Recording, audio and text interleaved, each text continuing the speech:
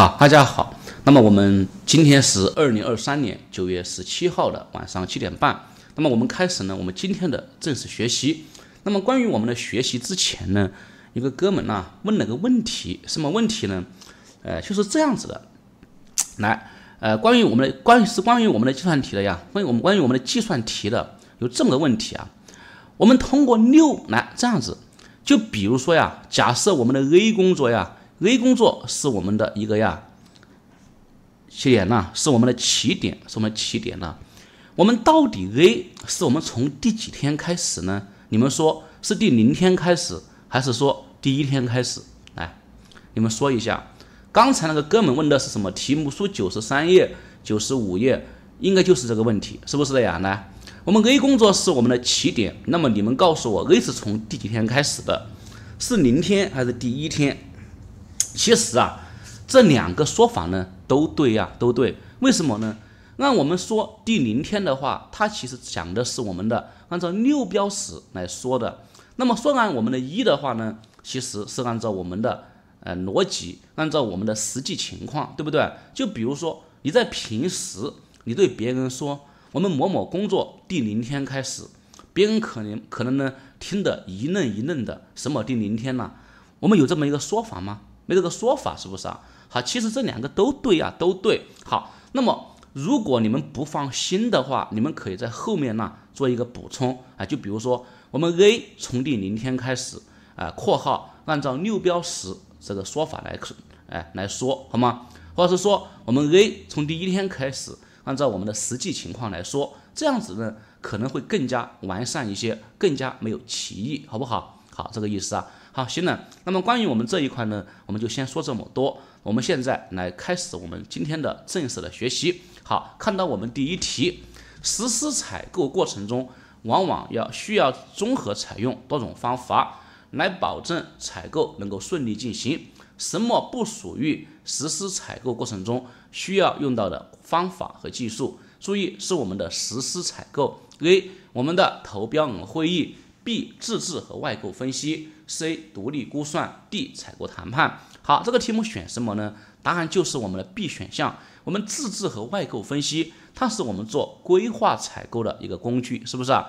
看我们本项目到底是自制还是去采购啊？那么当然，关于我们的 A、C、D 分别是个什么意思，我们也是必须要学会的。好，然后第二题，他说采购过程需要进行控制。以发现采购计划与实施采购过程中的偏差。以下关于采购控制叙述中，什么是不正确的？A. 控制采购过程中是买方需要做的，卖方不需要控制采购。这个 A 呢，一看就错了，是不是啊？为什么呢？我们多次的说过，我们控制采购是我们的双方都需要做的，是不是啊？所以我们双方都需要做控制采购啊。那么当然，关于我们的 B、C、D。我们建议，我们也是需要去读一下的，好吗？好，OK 啊。我们控制采购是管理采购的关系，监督合同的执行情况，并根据需要实施的变更和采取纠正措施的过程。控制采购过程中，可通过绩效评估来预测卖方未来项目执行的能力。还有，我们控制采购也是需要进行我们的财务的管理工作的。B、C、D 我们都可以读一下，补充一下。我们 A，我们控制采购是双方都需要做的。好，然后第三题，小王作为某项目的项目经理，决定采用投标人会议的方式来选择卖方。以下做法中什么是正确的？A，限制参会者提问的次数，防止少数人问太多问题。这个地方重要吗？这个地方需要限制吗？我感觉不需要限制，没有这么一个要求。B，防止参会者私下提问。那么对于我们的投标人会议，我们的踏勘项目现场，我们是个什么意思呢？我们都是啊，哎，为了我们的潜在投标人能够更加准确的了解我们的项目，哎，我们需要举行的活动，来对我们的招标活动做一个答疑的，是不是啊？我们必须要是公开、公平、公正的呀。那么呢，我们这个 B，我们确实是需要做的，我们必须要一视同仁，是不是啊？防止我们私下提问。好，然后关于我们的 C。小王不需要参加投标人会议，我们需不需要参加呢？还是需要参加的。然后 D 呢，设法获得每个参会者的机密信息，这是一个最基本的职业道德问题，我们不要，我们没有必要啊，对不对？好，总之就是说，防止私下提问就可以了，要公开、公平、公正。好，然后第四题，以下关于 SOW 的叙述中，什么是不正确的？A 而 SOW 的内容主要包含服务范围、方法、假定、工作量、变更管理等等等等。这个好像呢是不全的，但是呢，目前肯定是正确的，只是不全而已啊。好，OK。B 内部的 SOW 有时可以称为任务书，哎，我们呢这一个呢，哎，是不是啊？我们必须要去满足这么一些要求，必须要有这样一些功能。啊，那么呢是一个任务书，其实也可以是没问题的，正确的。C，我们这个变更我们需要走流程，当然是没问题的。D，SOW 通过明确项目应该完成的工作来确定项目的范围，这个地方我们应该是说反了的呀。在我们课本里面，我们有原文，我们是说每个采购工作说明书来自于项目的范围基准，其实是我们什么意思呢？先有范围基准，然后才是有我们的 SOW 啊。他说反了呀。好，然后第五题，采购人员按照什么的安排实施采购活动？我可以说这个题目 A、B、C、D 都对，但是我们必须要选一个，而且是只可以选一个。那么我们这样分析，我们按照计划来呗，不管是什么，都按照计划来呗。我们质量按照我们的质量管理计划来，进度按照我们的进度管理计划来。采购按照我们的采购管理计划来，你这样去想就可以了，是不是啊？答案是 D 啊，按照我们的计划来就行。好，然后第六题，关于控制采购的描述，什么是不正确的？A. 控制采购是管理采购关系，监督合同执行情况，并根据需要实施变更和采取纠正措施的过程，这不挺对的吗？好，B 就错了呀，我们控制采购是。买卖双方都需要做的好，C 和 D 呢，我们也可以去读一下。控制采购过程中还需要做我们的财务管理工作，对，确实有权是与钱是有关系的。D 控制采购可以保证采购产品质量的一个控制。我们做控制采购，我们也当然需要做我们的质量的一个控制，看这个质量是不是合格的。如果不合格，我们是需要返工的，是不是？它可以保证质量的呀。好，然后第七题，项目经理赵某负责公司的大数据分析平台项目，搭建该平台需要大规模的计算能力。经过市场调研，国内 A 公司可提供大规模的计算服务。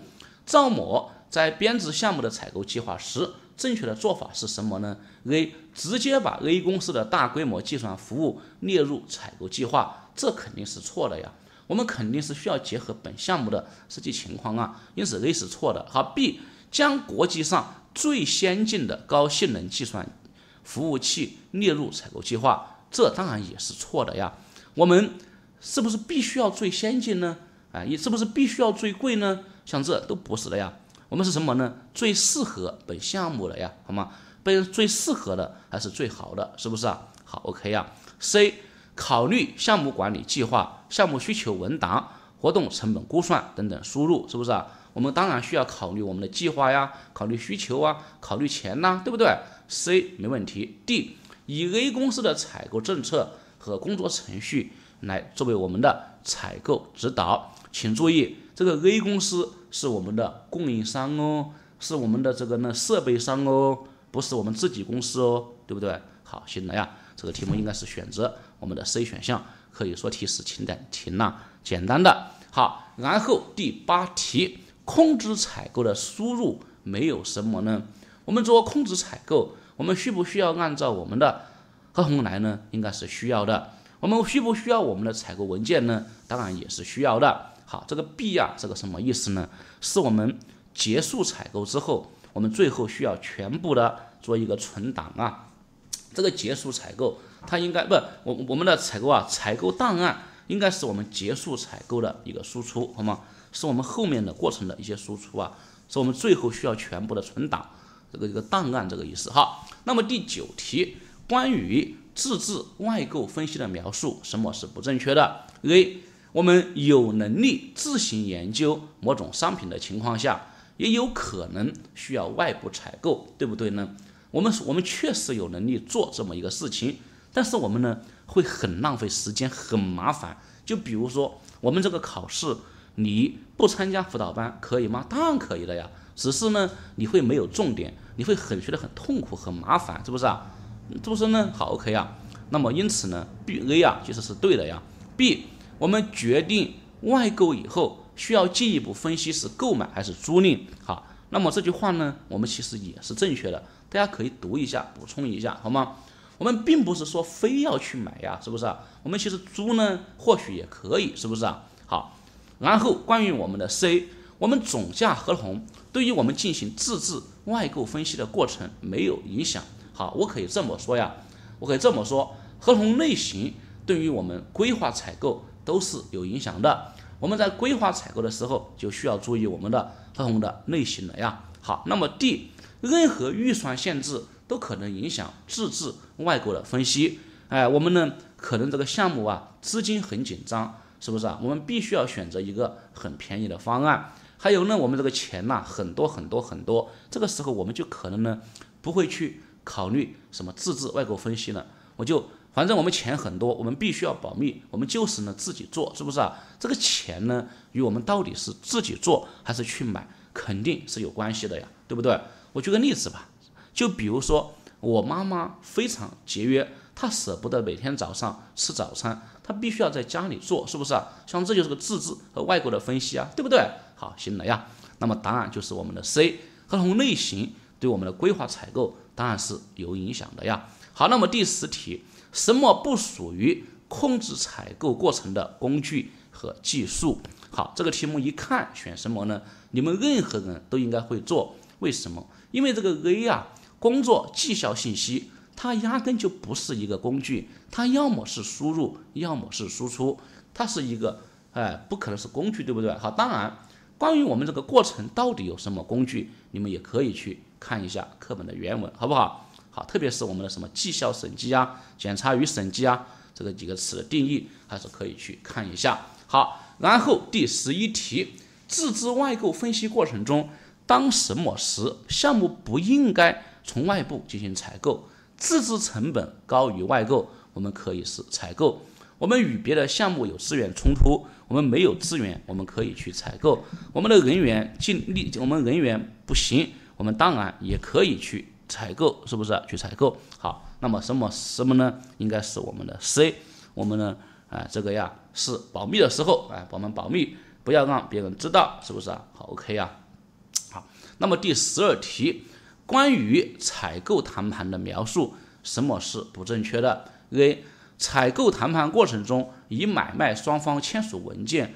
为结束的标志，这不很正确吗？我们谈谈谈，我们的鱼尾纹，我们的鱼尾纹没有弹走，但是我们最后呢，终于，哎，我们呢签了一个，我们终于达成了一致意见，我们签署了一个合同，这个时候我们就可以去结束了，是不是啊？好，我们谈判最后呢达成一致意见，签署文件了。好，然后 B 项目经理应该是我们的主谈人吗？那么你们可以去看一下课本的原文。看是不是必须是主谈人？注意，按照我们的原文，我们是说项目经理可以是主谈人。注意，只是可以，而不是应该，不是必须啊。好，C，项目团队可以列席参加。注意，我们也只是可以的参加，并不是必须列席参加，也不是必须要给澄清了。好，D，项目和项目文呃不啊，我们 D 啊，合同合同文本的最终版本应该反映所达成的一个协议。这当然也是没有问题的，是不是啊？我们呢有哪些意见？我们在最后我们的一个合同里面做一个说明，这不挺对的吗？好，然后第十三题这个题目应该是个原题。我们说过，二零年下半年有很多原题，就是因为我们的疫情。然后呢，我们呢很简单。第十四题好像也应该是一个原题。好，第十五题关于控制采购过程。的工具和技术的描述，什么是不正确的？A. 合同变更控制系统应该与整体的啊整体啊整体的变更控制系统整合起来。注意，我们当然是正确的呀。只要是我们的变更我们这个地方都应该是一样的，好吗？B 检查与审计的作用是验证卖方工作过程或者可交付成果对合同的遵守程度是不是呢？就是说看你们是不是有没有认真按照我们的合同哎来做，是不是啊？还有呢，你这个产品是不是满足我们的要求的这个意思，是不是啊？好，C 我们绩效审查的目标在于发现履约情况的好坏，这不也是挺对的吗？做一个绩效审查，是不是啊？好，然后第二。诉诸法律是解决所有索赔和争议的优选方法，这肯定不对呀，是不是啊？我们应该呢是我们的谈判呐，谈判是不是啊？好，OK。那么第十六题，实施采购过程的输入，我们有什么呢？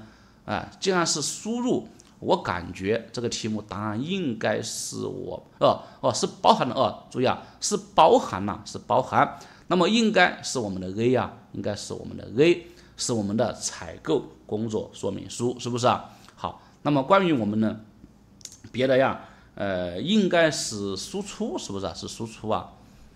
反正让这样肯定呀，肯定 A 是的呀，肯定 A 是的，我们 A 是的，我们呢必须要按照我们的这个采购的公布说明书来实施采购，我们到底需要什么，是不是？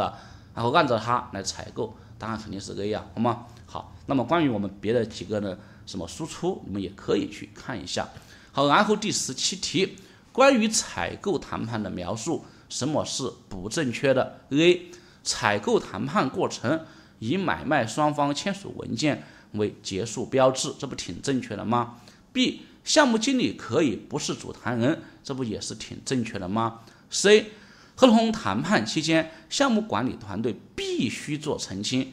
刚才我就说过的。我们并不是必须澄清，我们是可以澄清，而不是必须澄清，是不是啊？好，D，对于简单的采购事项，只需要卖方的接受，而不用漫长的谈判，是不是呢？就比如说呀，我现在去我们的网上啊，哎，找别人买两个呀，我们的 U 盘呐，两个 U 盘很便宜的，哎，我就说老板，你能不能给我提前发顺丰？本来呢，他是默认呐发我们的韵达的，我就说给我发顺丰，老板说行，没问题，好，于是啊就可以了，好吗？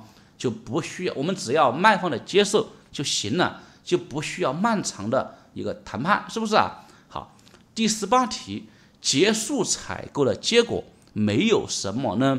这个题目好来，你们必须要明白采购文件是什么。那么这个采购文件呢？采购文件呢，其实呢，它在我们的书上啊，既可以表示我们的买方写的招标文件类似的，也可以表明什么呢？我们最后啊，我们最后呢，就是说呢，我们呢，以我们这个供应商提交的这一个呀建议书，哎，像这一些其实都是统称为采购相关的文件，好吗？但是呢，它是怎么说呀？怎么说呢？其实，如果我们非就是我，其实我建议啊，啊，当然只是我的建议。我们这个采购文件呢，其实指的是我们的买方的招标文件会好一些，然后建议书呢，就是我们卖方的投标文件会稍微的好一些，好吗？这样子呢，就分得更加细一点了。那么其实呢，呃，其实就是说这个采购文件也可以理解为采购的全部的文件都是可以的，好吗？好，这个题目答案应该是 B 啊，采购文件。它应该是我们的输入，反正肯定是输入，好吗？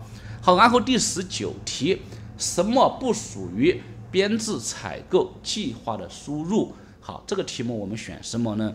这个题目呢，说实话，这个题目这个 D 呀，这个 D 呢，呃，我们 S O W 是不是啊？呃，其实我个人感觉呢，呃，最好把它改为啊，采购工作说明书可能会更加的好一些啊，采购工作说明书。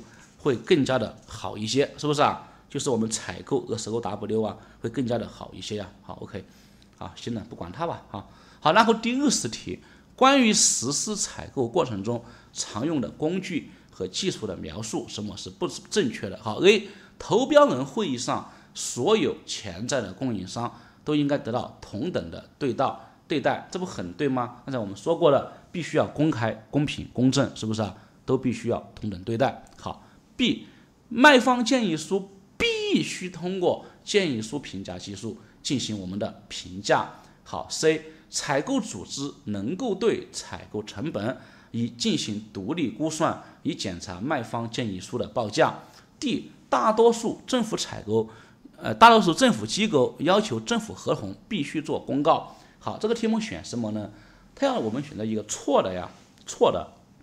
这个呢，答案呢应该是我们的 B 呀，应该是 B，不是，哎，不是啊，不是任何一个，哎，我们的建议书我们都必须通过这个评审技术的。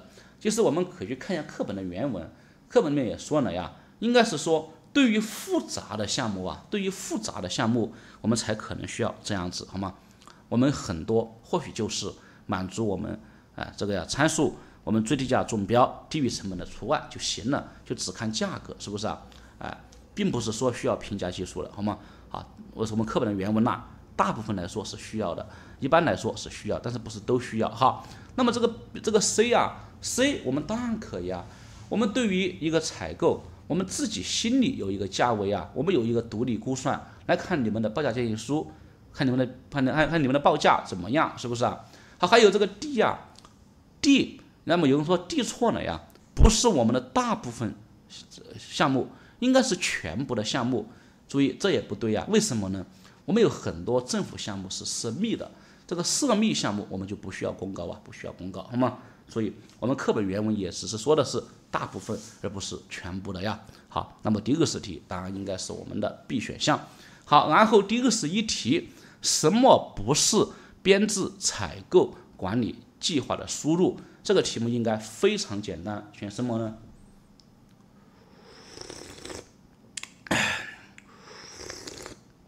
答案是我们的 D，是不是啊？这个 D 呢，应该是我们的输出啊，是输出，是不是啊？是输出哈。啊，第二十二题，关于编制采购管理计划过程的描述，正确的是什么？A，在进行自制外购分析时，有能力自制的，这完全不用考虑外购。我们还是可能需要考虑，还是需要考虑，是不是啊？我虽然自己有能力做，但是我去买呢，可能更加方便，更加便宜，是不是啊？还是需要考虑的呀。好，那么 B 编制采购管理计划时，需要考虑采购工作说明书和干洗人登记册，你们说对不对？那么你就看呢，你就看我们的采购工作说明书和干洗人登记册是不是我们的输入不就行了吗？你们可以发现。采购工作说明书应该是我们的输出，而不应该是我们的输入，是不是啊？好，C，我们市场调研包含考察行业情况和潜在供应商的能力，我感觉这应该很对吧？很对吧？是不是啊？然后 D，调研充分时不需要与潜在投标人进行我们的会议交流，难道我们呢？因为调研很充分了？难道我们就不需要会议交流了吗？嗯，这个 D 这个是不是必须的呀？嗯，难道因为我们调研很充分，所以我们就肯定不需要交流了吗？那肯定也不对呀，是不是呀？哎，好，第二十三题，什么不属于结束采购时使用的工具和技术？这个题目应该非常简单呐。答案是什么呀？嗯，结束采购时的工具和技术，我们采购应该是采购估算，是不是啊？采购估算呢？我们这个我们有采购估算这个说法吗？应该就是我们成本估算吧？嗯，是不是啊？有采购有采购估算这个说法吗？我没有听说过呀。我知道成本估算是不是啊？嗯，是不是啊？我们做成本估算了，好吗？好，第一个是试题啊。我们关于采购谈判的描述，什么是不正确的？好，这个答案不就是 A 了吗？是不是啊？好，B、C、D 啊，我们可以去读一下，好吗？A 不是必须的，A 是可以呀。好，B、C、D 读一下。对于复杂的采购事项，我们谈判可以是一个独立的过程；对于简单的采购事项，可以采用固定的条款和条件。我们最终合同一般是买方和卖方。讨价还价的一个结果，这不都很对吗？是不是啊？我们谈判可以独立进行，我们这个事情很简单，你就按照我们固定的条款来就行了。还有呢，我们讨价还价，最后签一个合同，这不挺对的吗？好，第一个是五题，关于控制采购的描述，什么是不正确的？好，这个呢，A，保证合同的有效执行是买方控制采购过程的主要目标之一。好像呢，似乎暂时不错呀，暂时不错吧？嗯，暂时不错。好，OK。B，在控制采购过程中，需要进行财务管理工作，监督对卖方的付款，这应该是很对的呀，很对的。好，C，项目执行组织要督促供应商按时提供产品和服务，保证项目的工期。这也不是很，这这也很正确呀，很正确呀。D，控制采购就是确保买方可以按照合同条款去执行。好，这个题目呢，答案应该是我们的 D 选项啊，答案是 D 选项，好吗？你们选 A 吗？答案不是 D 吗？要你选择选择一个不正确的呀，选择不正确是不正确的呀，是 D 呀。为什么 A 好？注意 A 呀，别人都说了是之一呀，是之一，好吗？A 虽然你看你看这 A 呀，A 我虽然打了个问号，有有点小问题，但是呢，它其实是问的是之一，是之一啊。而且你看 D 也是控制采购过程，就是确保买方可以按照合同条款去执行。那那卖方呢？那卖方呢？只有买方吧？那卖方呢？那卖方呢？是不是啊？好 OK 啊，好 D 是肯定不全的，而我们的 A 之一。就救了我们呐，之一就救了我们，好吗？然后 D 是肯定不全的，就是就是是不是的？好，行了，来，这二十五个题目有问题的说题号和选项来。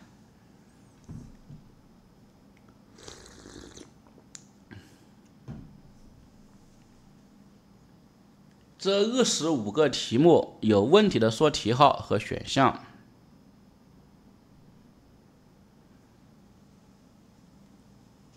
第二十二题，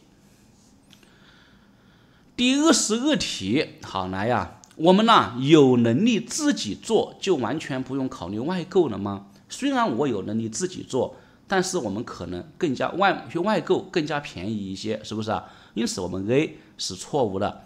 B 采购工作说明书是编制采购计划的输出，因此 B 是错误的。好，我们 C 我们市场调研。我们需要考察行业情况什么的，这没问题，正确的。D 调研充分时不需要与潜在投标人进行我们的会议交流呢？我就不明白这两个有没有必然的联系，好吗？我调研非常充分，难道我就一定不需要与投标人进行交易交流吗？哎，会好，来，那这样子呢？你看这，我们呢，我们我们呢与潜在投标人进行会议交流，好像你可以就啊理解为我们的。投标人呐，投标人会议啊，可以就可以理解为投标人会议。好，来，现在我们对这个项目非常调研充分，难道就肯定不需要做投标人会议吗？哎，我我是调研充分的，但是我们投标人他看我们的招标文件，他看的不是很清楚啊，他有疑问呐，他要问呐，是不是啊？这两个没有必然联系吧？好，第二十五题的 B 啊，第二十五题的 B，监督对呀。监督对卖方的付款呢？是啊，我们甲方对我们卖我们我们买方对卖方的付款，那这不挺对的吗？好，第十八题采购文，第十八题采购文件和我们的采购档案是不是啊？采购档案就是我们整个过程全部的存档啊，存档。那么什么是采购文件？刚才我今天还特别给你们解释过的，其实非常，其实我个人认为啊，我建议。最好的采购文件的意思就是我们的买方写的，好吗？就是在我们呢规划采购这个过程的输出里里面写的采购文件，这个意思就是我们买方写的招标文件这些东西。那么其实呢，呃，其实啊，呃，我们呢，我们呢也可以认为啊，也可以认为我们的卖方建议书它也是我们的采购文件。哎，我们就是说，哎，我们的采购过程的文件都是我们的采购文件，好吗？这个你这个一个是比较粗的一个解释，一个比较细的解释。其实我是比较偏向于我们比较细、比较细的解释的。采购文件就是我们买方写的，建议书就是我们乙方写的，好吗？好，第二十题，第二十题，第二十题，哎，我们呢同等对待，这不很正确吗？呃，我们 B 我刚才说了呀，不是必须呀，我们是大多数项目啊，或是对于我不，我们我们原文呐，原文是对于我们复杂，原文是对于我们复杂的项目才需要啊，不是任何一个项目啊。然后呢，我们这个 C 我们是可以呀，是可以呀，是可以，哎，我们自己呢评价一下你们的报价准不准呐？还有这个 D 呢，我们不是任何一个项目啊，为什么呢？可能有项目是私密的呀，是不是呢？好，行了。一般来说需要公告，但是不是任何项目，因为还有部分项目是神秘的项目。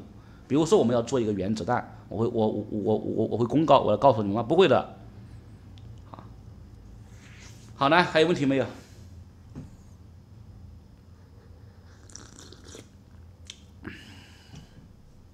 其实你们可以发现，凡是让你们感觉很郁闷的地方，什么应啊、必须啊、大多数啊、全部啊、必须啊，像这一些。在我们的书上应该都是有原文的，有原文的好吗？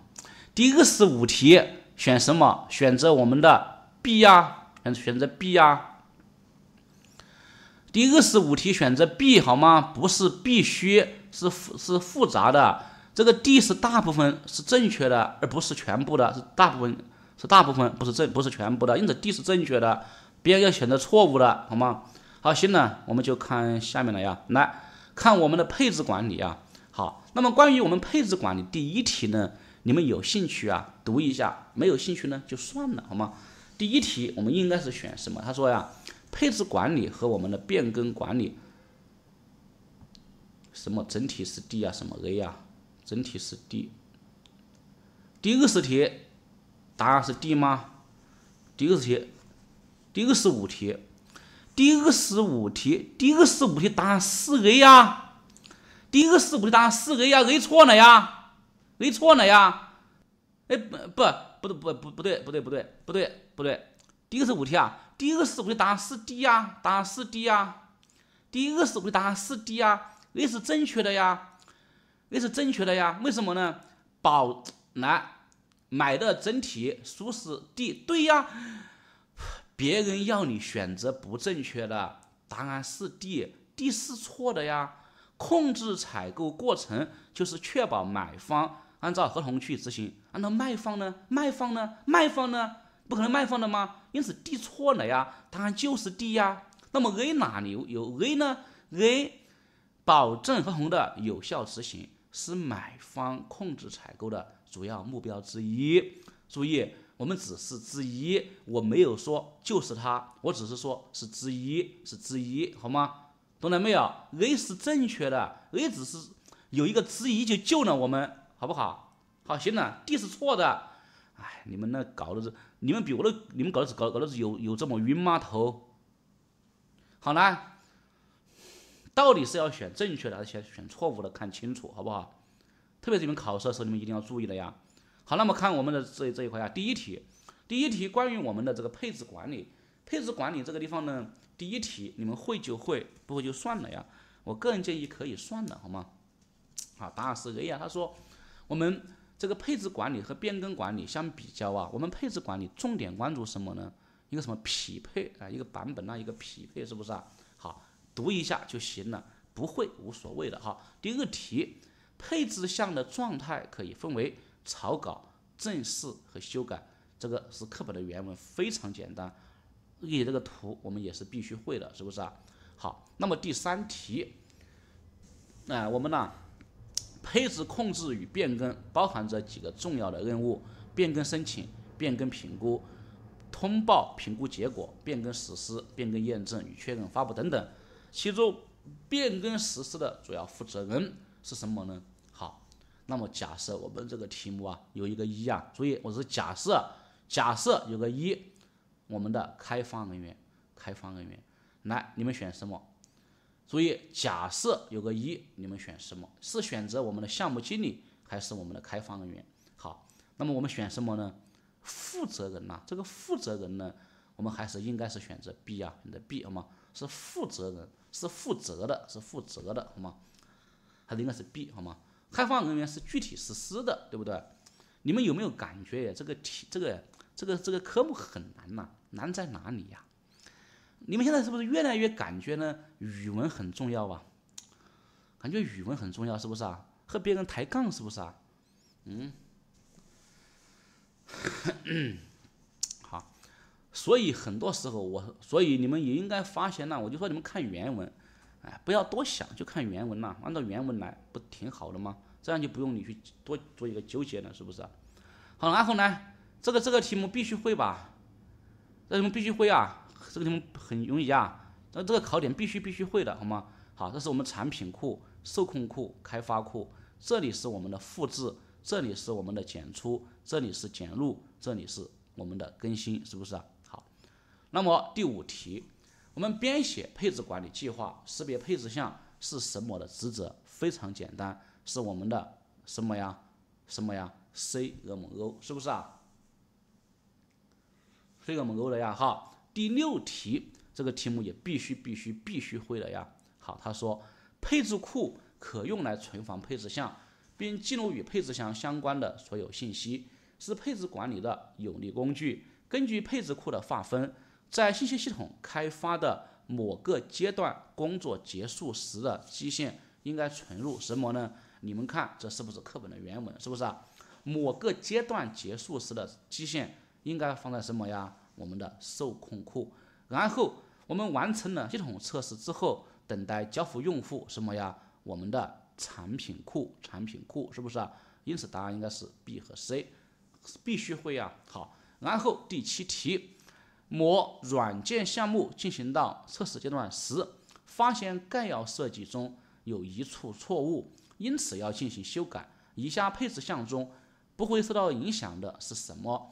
你要做这个题目呢，就必须要明白我们的软件开发的过程是什么。我们首先是注意，我们是先做我们的需求规格说明书，然后第二步做我们的概要设计，第三步做详细设计，然后我们什么？第四步写程序代码，还有呢，我们第五步做测试，这做测试这一块是不是啊？好，那么现在我们是第二步的东西需要改了，那么你们说我们的第一步的东西会不会被影响？来，你们告诉我好吗？是因为第二步有错误需要改，那么我们的第一步的东西会不会被影响？会不会改？你们自己说。按照我们的顺序，我们分别是需求规格、概要设计、详细设计、编码和测试。现在我们是第二步出错了，我们需要改它。那么我们第一步肯定不受影响呗，肯定是在我们之后的过程才受影响呗。在我们之前的过程就不受影响呗，是这个意思啊。好，好，第八题，项目验收时发现项目经理签字确认的需求规格说明书纸质文档内容与配置服务器上的产品库同一文档内容不一致，最有可能是我们在什么的执行上出现了问题？啊，我们电子版和纸质版呢内容不一致，什么问题呢？啊？就是我们文档管理出错了，是不是啊？文档管理出错了呀。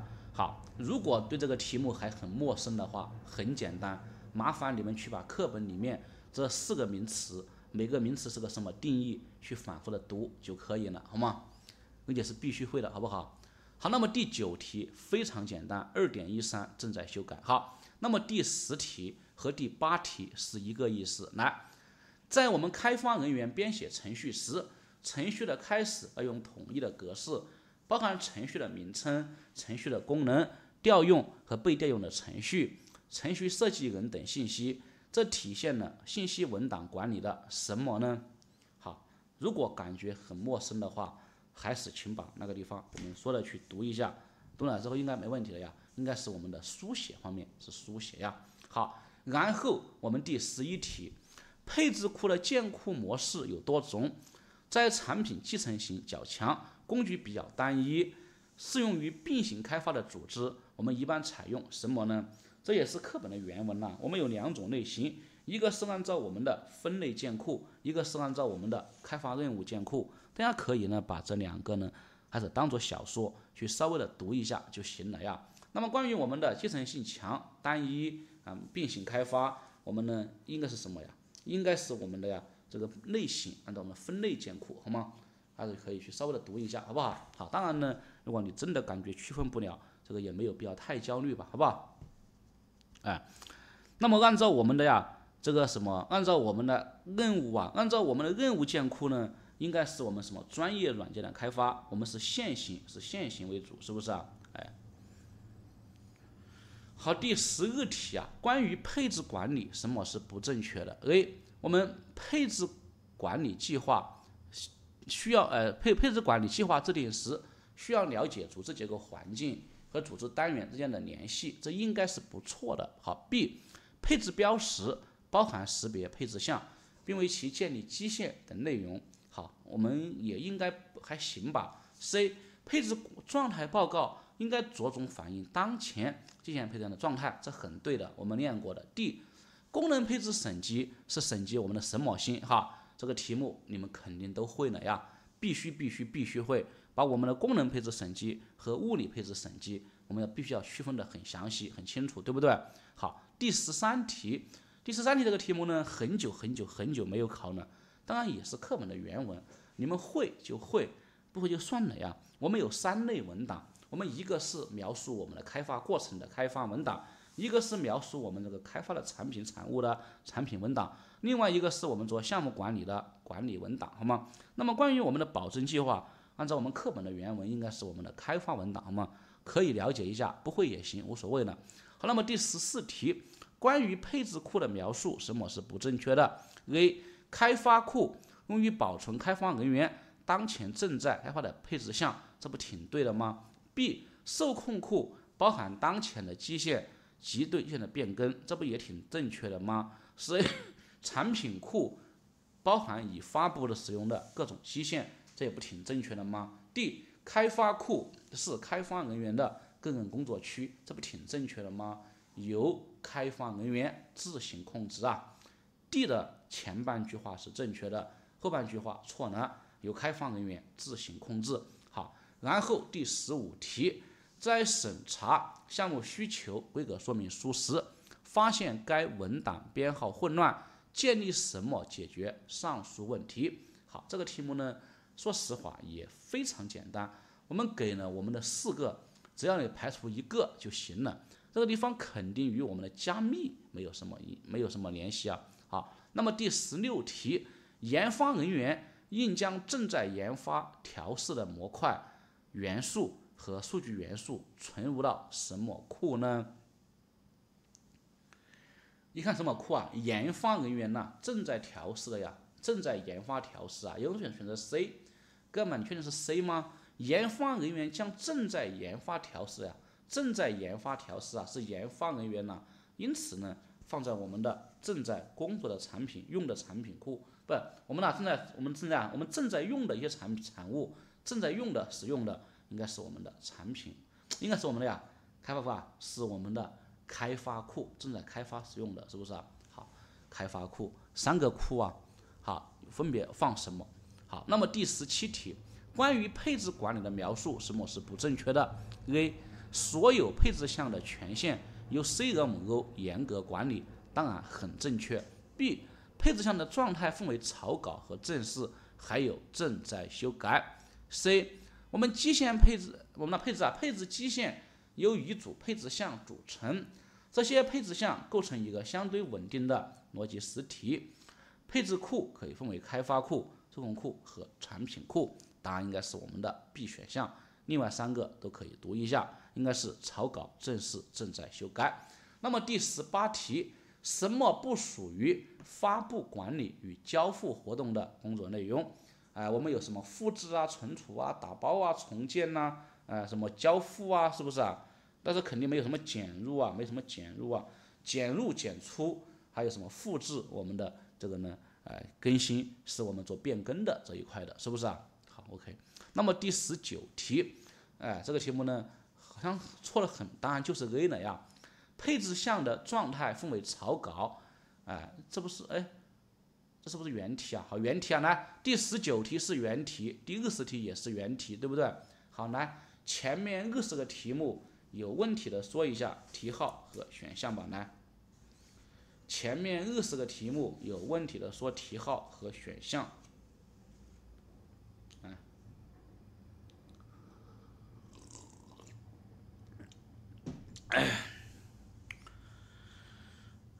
嗯来前面二十个题目有问题的说题号和选项如果没有我就过了。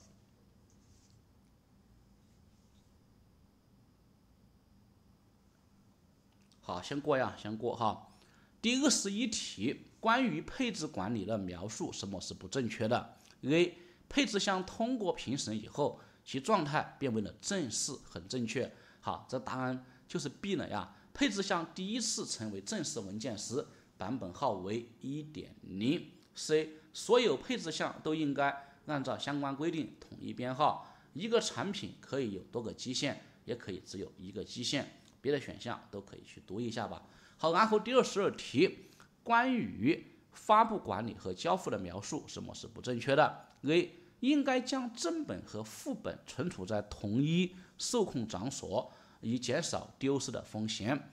那么我们到底是正本和副本在一起，还是不在一起呢？肯定是不在一起啊，对不对？就比如说，我们假设我们的一个磁盘放在了我们的东京。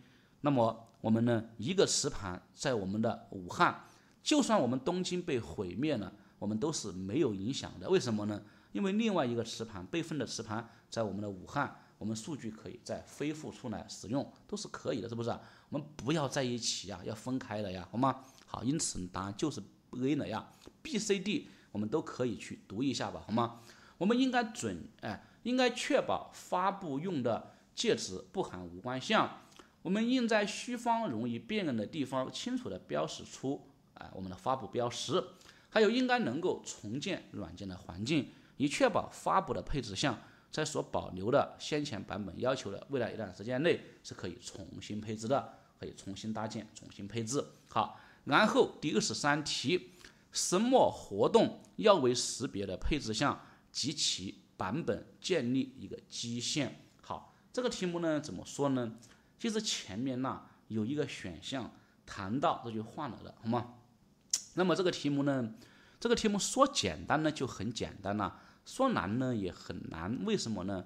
呃，这个题目啊，其实在我们的软件配置，在我们的软件呢配置标识里面是有什么识别配置项和这个呢建立基线的这些内容呢是有的。应该是七步吧，是配置哎，软件配置标识是不是七步啊？好像是七步啊，他就写了有我们的这个题干的内容。好，这呢是一种做法。那么另外一种做法呢，你就是啊，这这 A B C D 每一个是个什么意思啊？啊，就比如说什么我们的配置标识，哎，大致上是干什么？哎，我们需要发布，哎，还有呢，我们需要做配置控制，我们需要呢时不时给状给一个状态报告？你把我们那个 A B C D 呢？这四个名词分别干什么？你有个大致的认识的话，这个题目也可以能够做好吗？就是说，既可以去死记是写了的，也可以呢这样去通过词词的定义去判断一下，也是可以做的，好不好？答案是我们的 A 呀。好，第二十四题，这个题目肯定不需要我讲啊，我们肯定是什么呀？肯定是四一二四，是不是啊？这个简，呃，三四一二三呐，四一二三，四一二三，这个简单吧？这个图必须必须必须会哈，然后我们第二十五题，这是不是课本的原文呢？什么是我们的有效性呢？什么是有效性呢？当然审计啊，是不是啊？审计，你们自己可以扪心自问，在我们的课本里面有多次出现什么审计、什么有效性这么几个词呢？好吗？好，OK。第二十六题，软件配置管理关注什么呢？整个生命周期中的变更呢？答案是 A，去读一下就行了。啊，软件配置管理关注的是软件生命周期中的变更。好，第二十七题零点六八，一看到零，啊，选什么呢？是不是啊？就是我们的草稿啊。好，第二十八题关于配置审计的描述，什么是不正确的？A，配置审计的实施是为了确保。项目配置管理的有效性，这不挺对的吗？好，B 功能配置审计需要验证配置项的开发有没有圆满的完成。C 功能配置审计需要验证要交付的配置项是不是存在的，是不是存在的？我们到底是什么？好吗？还有 D 好来，如果你这个题目不会的话，我也不想告诉你答案是什么。麻烦你去把我们的功能配置审计、物理配置审计去反复的读，必须要读，读了之后自然会了，好吗？好，第二十九题，非常简单，答案一读就行了呀。所有操作、所有配置、所有配置用的操作权限由 C 俄姆 O 严格管理。好，第三十题，什么可以确保存储介质的完整性？这个题目啊，呃，是完整性，是完整性，没有被删除，没有被修改，应该是 D，答案是不是 D 啊？好第三十题啊，答案是 D。哎，其实你们可以发现呐，这个题目呢，A、B、C、D 它都是课本的原文，你们知道吗？但是这个题目凭什么选择 D 呢？来，麻烦你们告诉我，这个题目 A、B、C、D 竟然都是课本的原文，为什么要选择 D？你们可以告诉一下我，好吗？来，给我说一下，哪一个是我们的关键点？是根据哪一哪哪几个字来做的？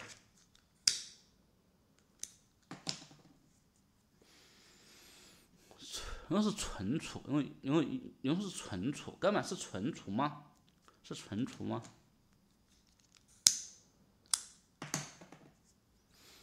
应该是根据我们的呀，根据我们的完整性啊，应该是完整性这么这么几个词的呀，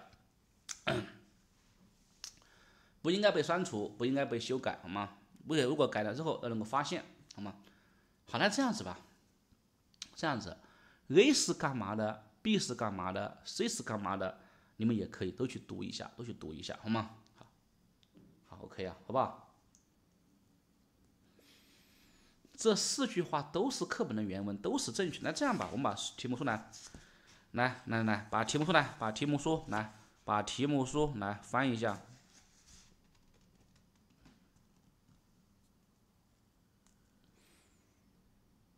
嗯。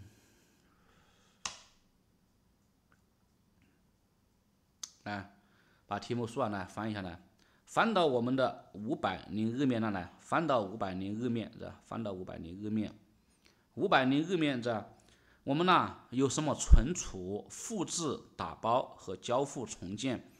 我们这个 A 呀，确保发布用的介质不含无关项，应该是我们复制的内容，是不是啊？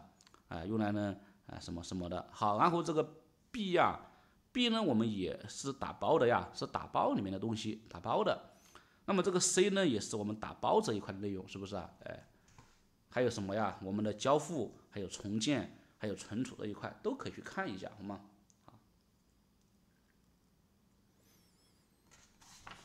好，好，然后呢，我们来看到啊，我们的第三十一题，第三十一题这个题目，说实话，我不是很会做呀，这个题目。他说呀。某软件的配置库结构如下图：产品需求在我们的 master 上实现，软件整体完成以后，拉出俄史俄史分支，修复严重问题，并发布我们的最终的产品。这俄史俄史为我们的什么？这个题目呢？我猜呀，我猜呢应该是我们的产品库。但是这个题目有这么简单吗？其实我不是很确定呐。这个题目我并不是很确定，答案是我们的产品库啊，哎，好不好啊？有人说，对呀，这就是什么，并发布最终版本呢？这不并发布并并发布最终的软件呢？这不就是产品了吗？对，我也知道，但是我觉得呀，太简单了，还反而感觉不是很确定了呀。好那，这样子吧，这个题目你们会就会，不会也没有必要管它呀，没有必要管它，好吗？啊，这个题目可以不用管它，可以可以不用管了呀。好，来看第三十二题啊，第三十二题这个题目呢，我感觉也很奇怪呀。来看看那，好，他说小张和小王同时分别处理一个软件项目的两个不同的故障，两人的修改涉及到同一个软件部件而死，两人的操作分别为好，OK 呀，来，这个题目呢，通过我们的排除法呀可以做，好吗？通过排除法可以做。他说呀，来。你看呐，我们呐，圆圈一是小张从软件受控库中更新俄史的源代码到我们的本地开发库。来这样子吧，呃，我们这个图啊，这个图还记得吧？好，来，这是我们的第一步，这是第二步，这是第三步，这是第四步。请问这个圆圈一指的是我们的哪里啊？是小张从软件受控库更新额头的源代码到本地开发库，应该讲的是我们的 out，是我们的切合 out，是我们的检出，是不是啊？好，是我们的检出啊。好，然后小张在本地开发库修复我们的故障一，好，挺好的。好，然后小张将修复提交到软件受控库。我们呢，再把它做一个呀提交，就是我们的减入，是不是减入？是不是啊？好，OK 啊，很好的，好 OK，来，好来呀。其实我感觉这个题目的答案是什么呢？就是一二三四五六，就是这，挺好的。好，我们一看呢，好像没有一二三四五六这个选项啊。好，来，先不管它吧。来，我们来看我们的 A 啊，来。圆圈一，圆圈四，请问圆圈一之后是圆圈四，这现实不现实？好，什么意思呢？其实我们应该有这么一个原理啊，就是说我们小张啊，啊，当然我们不仅单来，我们不仅是小张啊，我们只要啊一个人一个人把我们的这一段代码呀，把它剪出来之后，别人还能不能动？别人还能不能剪出？告诉我，注意是不可以的。注意啊，这段代码被一个程序员切合 out 之后，别人是动不了了的，是被啊被我们锁定了呀，被呢锁定了的，好吗？注意啊，这个地方你们可以记一下啊，你们可以记一下，这一段代码被一个程序员把它检出之后。这个代码段就被锁定了，别人是检出不了了的，是动不了了的，好吗？好，因此啊，所以说一试是不可能的。那么既然一试不可能，那么 D 呢？A 和 D 啊都不可能了，好吗？A 和 D 都错了。好看我们的这个呀，C 四五啊，好四五，好来四五呢？说实话很对呀，很对，好。然后呢，又是一好，来又啊有问题了呀，子，你小王把它剪出来了，然后你把它修改了，如果你不把它剪入进去的话，别人也是动不了的，也是动不了的。所以说这个一是动不了的，是不可能的。因此 C 也错了呀。通过排除法呢，答案就是 B 了呀。我们来看看这个 B 呀，看看答案是 B。好，他说呀，这我们一呀，这一，我们先把它剪出，啊，到我们的开发库，然后我们去修改，我们去修改，好吗？好，然后呢，我们又剪出，你这个又剪出这个地方，你看这，那么那么这个又剪出再剪出什么呢？剪出剪出什么呀？剪出一个别的东西。还是剪还是剪还是剪出什么呀？嗯，其实我就很怀疑这个圆圈一是个什么意思。然后这里呢，这个呀圆圈四是个什么意思？那你会发现呐，这个圆圈四和这个圆圈四一刚好是一样的，这一二三四五六，这个四和这个这四和这个四重复，一和这个一重复，是不是啊？其实就是我们最开始讲的呀，一二三四五六的话就肯定对了呀。好，那么我们呢？它既然这个选项呢，我们这里有两个圆圈一啊，哎，我们先把它剪出，然后我们修改，然后呢，我们呢再去剪出一下。这个剪出呢是剪出的什么呢？我们能不能认为是别的另外一段代码呀？我们觉得我可以认为是另外呀一段代码，好吗？哎，我呢，反正我把这段代码呀，把它呢，把它呀剪出来了之后，把它修改了。我再呢剪出另外一段代码，然后呢，啊，再把它全部的更新上去，啊，就是这个一二一三，好吗？后面的四五四六和前面的是一样的呢，好吗？啊，我先剪出，然后修改，然后呢再剪出，然后再全部的剪入，是不是啊？一样的。这个题目看不懂的就是有两个圆圈一，有两个圆圈四，好吗？懂了没有啊？如果说按照我们刚才解释的是另外一段代码段，这个地方或许可以理解，可以接受，好吗？但是我可以这么说，A C D 是肯定不对的，好吗？好，通过排除法是选择 B。好，来这样子吧，这个题目呢，说实话你们也没有必要很会。总之一句话就是，哎，你把这个地方会就行了，就行了，好吗？好，行了呀。好，然后第三十三题，关于配置基线的控，呃，关于配置基线的描述，什么是不正确的？基线。是为了控制变化而引入的概念，这不挺对的吗？B 基线中的配置项不能再被修改呢？我们多次讲过，当然可以修改，只是说需要走变更的流程，好吗？好，C 基线通常对应于开发过程中的里程碑，这也是正确的，可以读一下。新项目可以从基线上拉出独立的分支，与原始项目的变更进行我们的隔离，好，也可以去读一下吧。好，然后第三十四题，什么不属于配置控制过程的内容啊？配置控制就应该是我们的变更的流程了。A 标识和记录变更申请，B 确定配置项，C 批准与否决变更申请，D 实现验证和发布已修改的配置项，好吗？配置控制我们题目都，我们配置控制啊，我们课本是说了的，就是我们配置项的。基线的变更控制，哎，是不是啊？我们要有变更有关系的，这个 B 与我们的变更没有关系啊，好吗？好，当然这也是课本的原文内容啊。第三十五题，这个题目也应该是课本的原文内容，是不是啊？当然应该选，当然应该是选择什么呀？嗯，当然应该是 B，是不是啊？是 B 啊。但是我们这个产品库啊，这个产品库和我们的这个地方，我们有什么区别呀？产品库。它没有说什么变更了，是不是啊？产品库呢，它没有强调变更呐。你们可以去，你们可以呢，来这样子吧。我们把题目书啊，把题目书可以翻到啊四百九十九页，好吗？四百九十九页最下面呢，最下面这里有三个，你看这，我们的呀第三个产品库包含已发布使用的各种机线的存档，是存档啊。而我们的这种库是什么呀？包包含当前的基线，加上对基线的变更啊，变更是不是啊？还是有区别，对不对？好，第三十六题啊，三十六题，发布管理和交付活动的主要任务没有什么呢？要控制我们的发行和交付，控制文档的发行和交付，确定可交付程的正确性。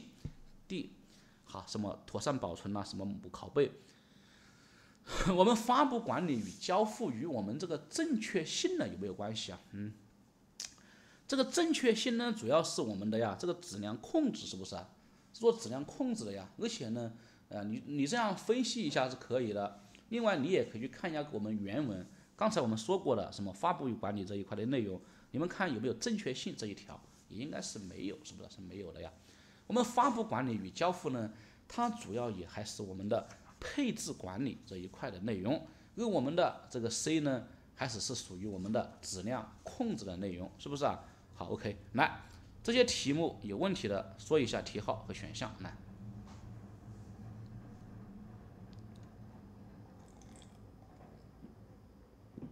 这些题目有问题的说一下题号和选项。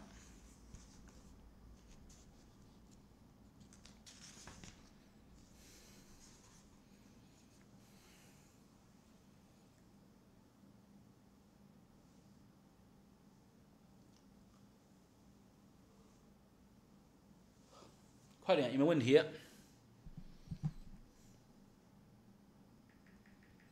有没有问题？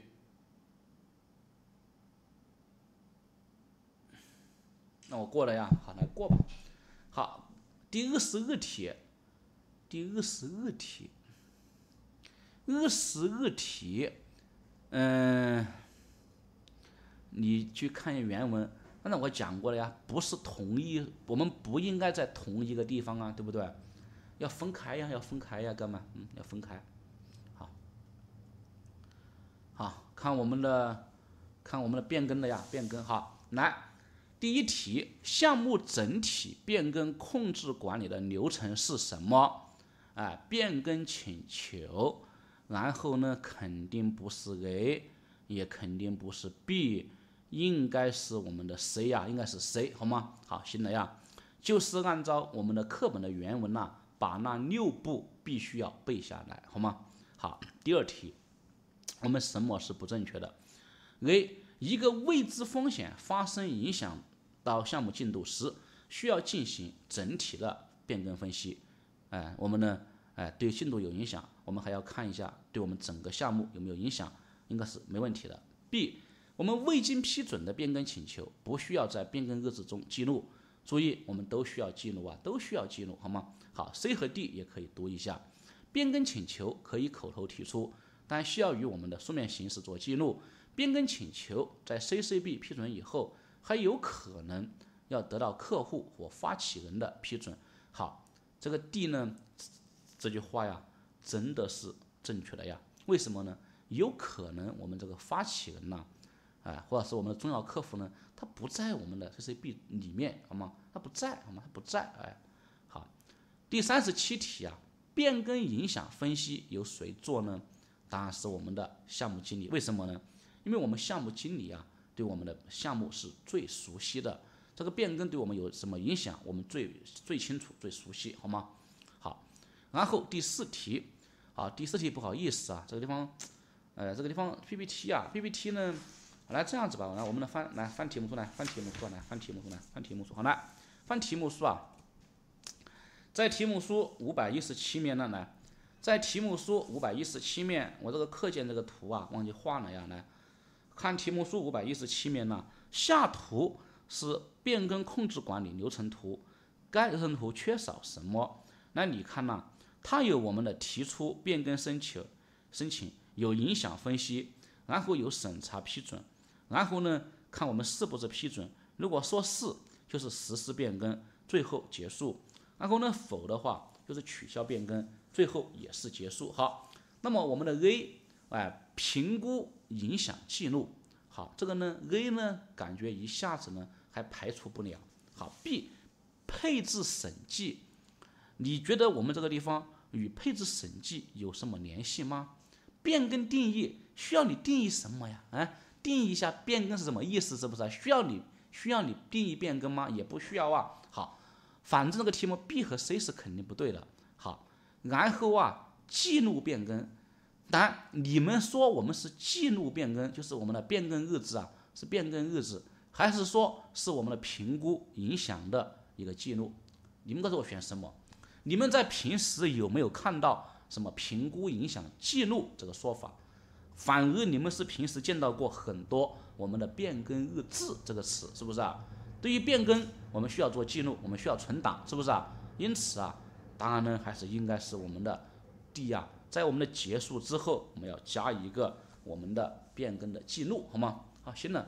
第五题，以下关于项目整体变更控制过程的叙述中，什么是不正确的？好，A 实施整体变更控制过程的目的是为了降低项目的风险，这应当是挺对的。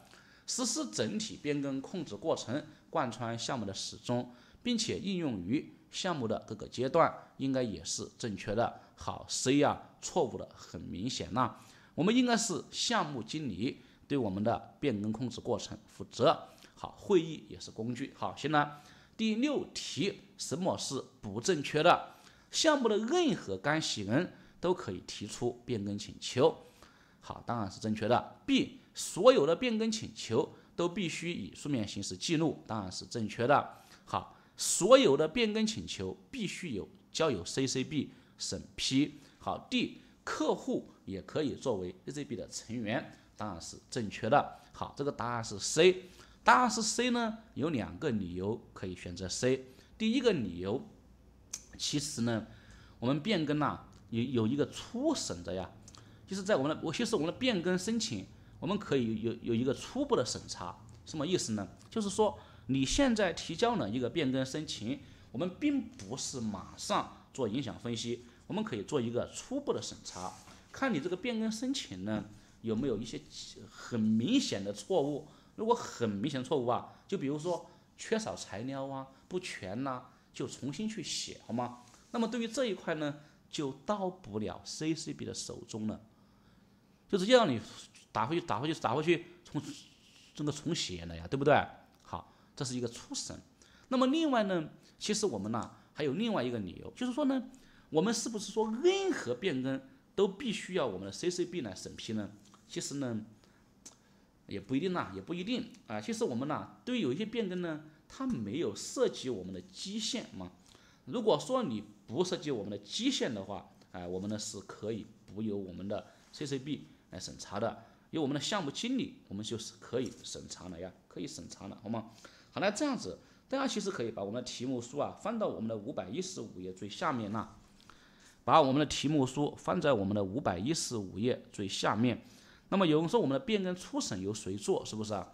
由我们的项目经理或者是我们的这个配置管理员他来做呀？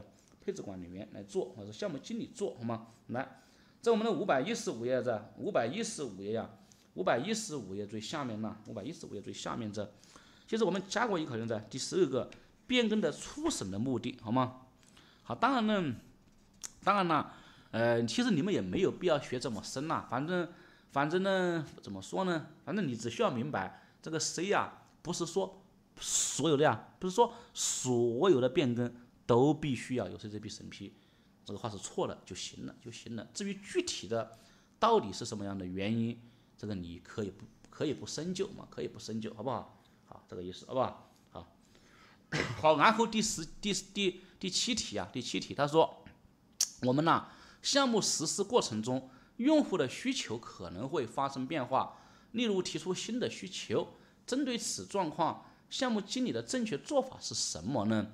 这个题目啊，应该来说选什么呢？肯定不是 A，也肯定不是 B。好，呃，应该是选择我们的什么呀？是 C 还是 D 啊？应该是选择 D，这是这个 D 才是我们的走流程，是不是啊？看到变更就走流程了。好，第八题，关于项目整体变更的描述，什么是不正确的？好，好，这个题目呢，答案就是 D 了呀，这。A 我们贯穿于项目始终正确的，B 任何人都可以提变更请求，C 我们都需要纳入配变更管理，D 刚才我们已经解释过了，有两个理由，是不是啊？好，那么第九题我们什么是不正确的？A CCB 的成员可能包含客户和项目经理的上级领导，这个是正确的。B 哎这个错了呀，我们项目经理项目经理呢？他可以是我们的成员之一，但是他不是我们的组长的呀。好，C 呢？刚才我们已经解释过了。注意啊，是我们的可能，注意是可能呐，是可能，确实是有，确实啊是有可能的，好吗？好，这个呢，D，你看这个 D 啊，这，哎，我们呢针对可能影响项目目标的变更，必须经过 A、C、B 的审批。刚才我们不是说？我们的什么对我们的基线有什么影响的吗？我们需要经过 CCB 吗？你看这这个 D 就应该是正确的，是正确的，是不是啊？好，好，然后第十题啊，第十题这个题目选什么呢？你们是选择 C 还是选择 D 呢？说实话，这个题目呢，我并不是很会做，好像按照课本的原文呢，有 D 这么一个说法。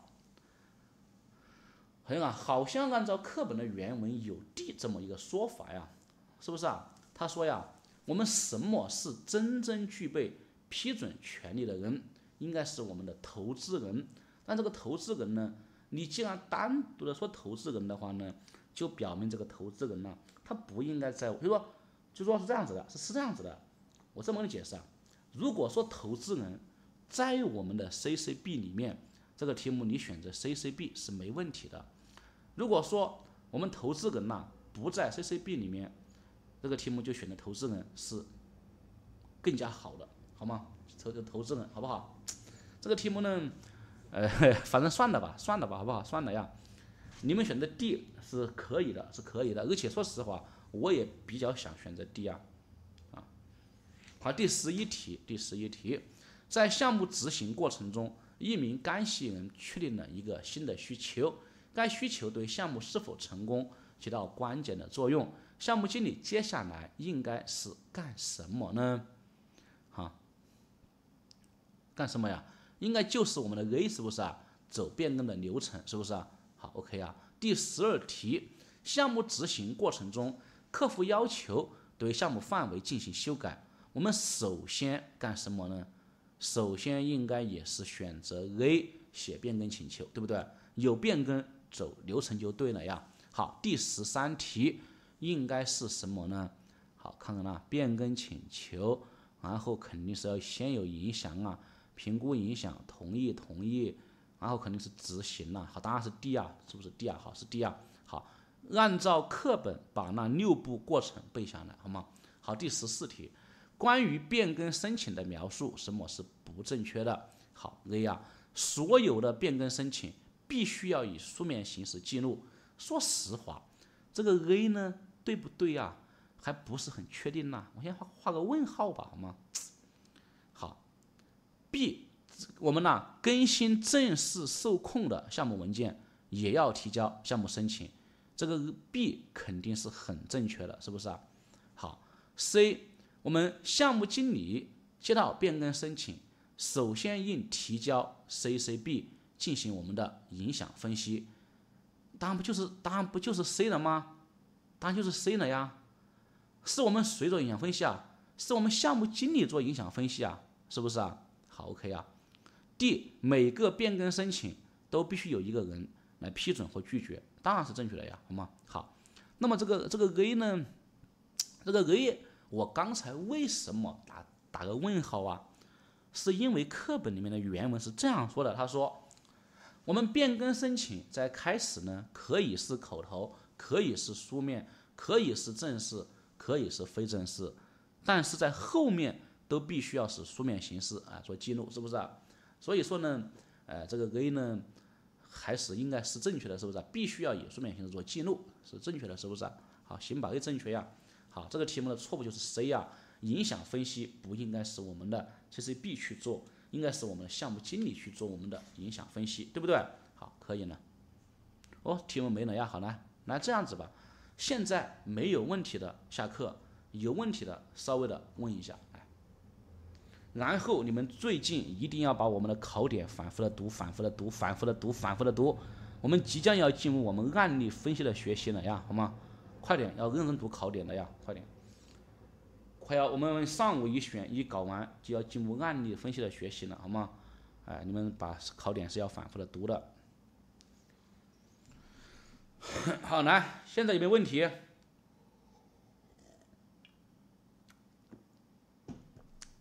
有问题的问一下，没有问题下课。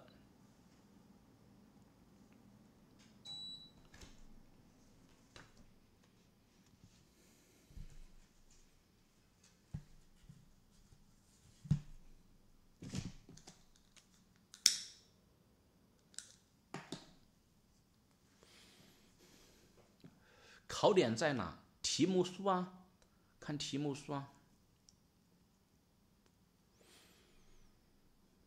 题目书的目录是很，我们呐，我们拿到一本书，还是必须先看目录啊，目录还是很重要，好吗？后面有专门讲计算的课程安排吗？呃，怎么说呢？呃，我这么说吧，这么说吧，非常。重要的计算题的课已经讲了，那十一次，那十一次视频好吗？后面讲的，呃，内容没有我们前面十一次那么重要，也没有前面十一次那么正式。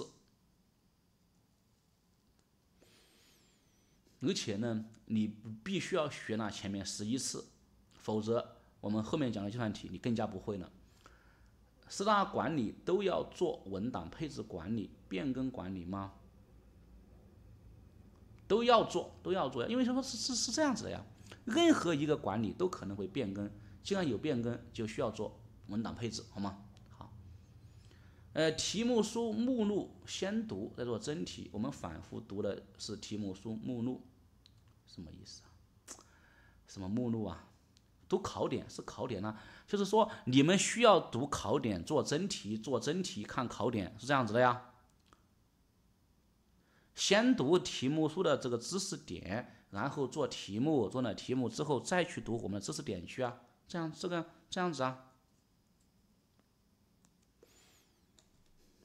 好啊这样吧一句话吧就是题目书嗯从头到尾都要认真看都要认真看好吗？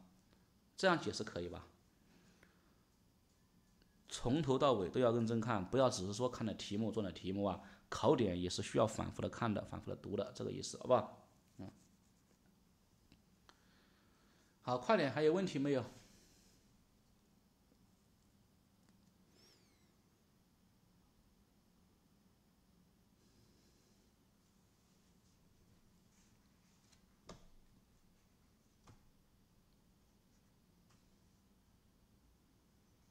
完了，下那就下了呀，那我下来了呀，我下了，你们也下吧，自己去巩固一下吧，好不好？